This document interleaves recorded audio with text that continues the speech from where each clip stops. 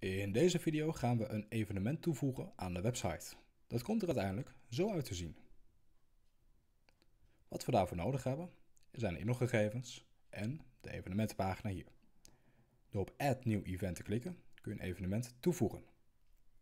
Vul hier de naam in van het evenement. Vul hier de line-up in.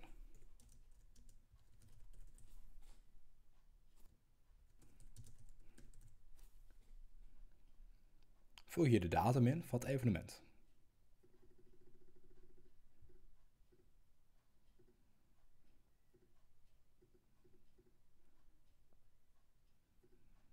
En natuurlijk de tijd. Scroll naar beneden. Voeg nu de locatie toe. Kies uit een nieuwe locatie. Je vult er de naam en de adresgegevens in en eventueel een link naar de website van de locatie. Of selecteer een locatie die jullie eerder hebben toegevoegd.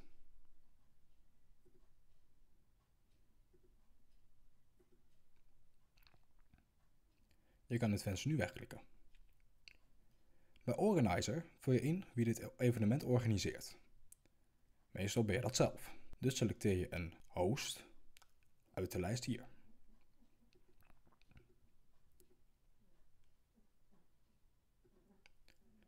Vervolgens selecteer je hoe het evenement eruit komt te zien op de website.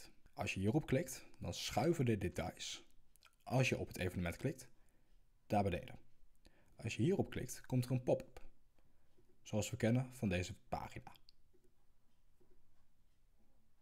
Als je eventueel nog een Facebook evenement hebt, dan kun je die hier toevoegen. Dan kunnen mensen doorklikken en daar zich aanmelden voor het evenement. Of bijvoorbeeld een ticketpagina.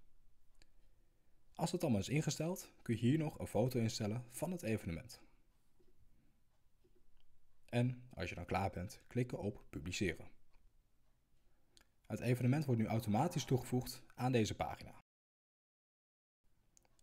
Het ziet er nu als volgt uit. We hebben die foto, de line-up en eventueel nog meer tekst als je dat hier wil plaatsen, de tijd en datum en de locatie en diegene die het organiseert.